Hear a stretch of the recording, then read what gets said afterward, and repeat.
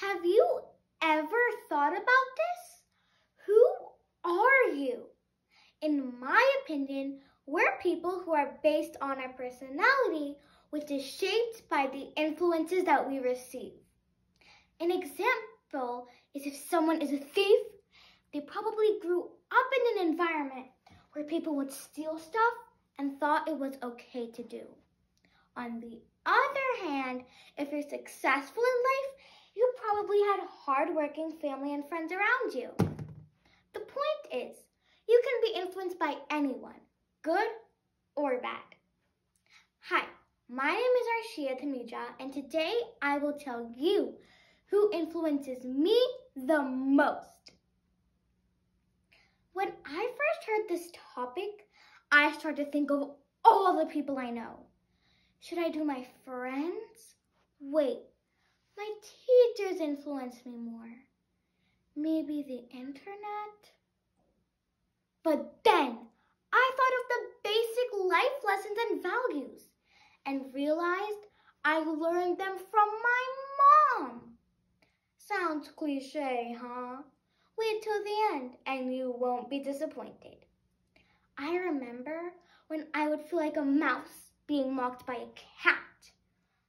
As every day in the cafeteria, I would open my lunchbox to an Indian meal and people would say, Ew, is that dog food? You're not seriously gonna eat that, are you? But who instilled me with confidence? My mom did. She said, be careful what you give your attention to as it increases in its nature. So the next day, when I walked into the cafeteria, I ate my meal and ignored all those hurtful comments, and soon it just stopped. Another thing she insists on is karma. Our deeds. What goes around comes around. An example is one time we drove all the way to someone's house to give them a little holiday present because they were spending such a big and exciting holiday.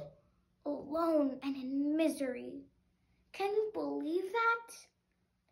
But when we were feeling under the weather, they were the ones that came to our house and gave us some nice, hot, freshly cooked meal. Moving forward, if you just woke up and I ask you, what are you thankful for today so far?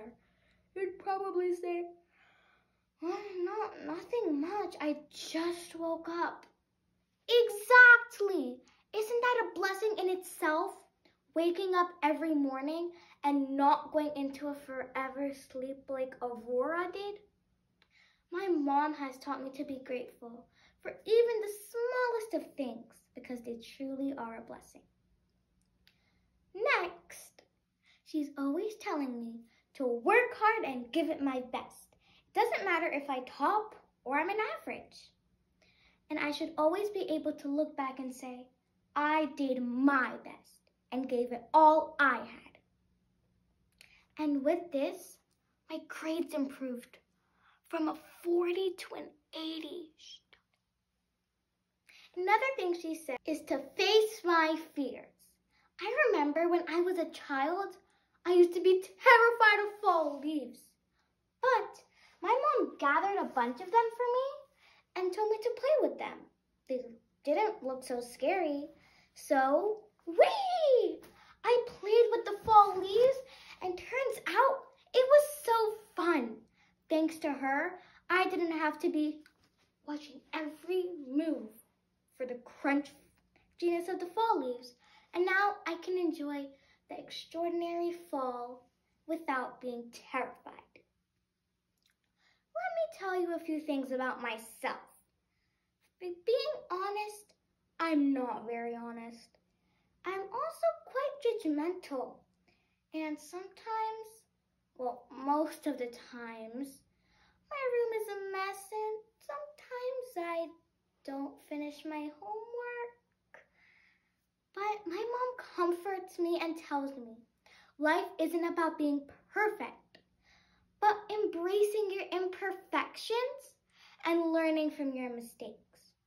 So to conclude, there are two sides of the coin the good influences and the not so good influences. So control what you can and influence what you should.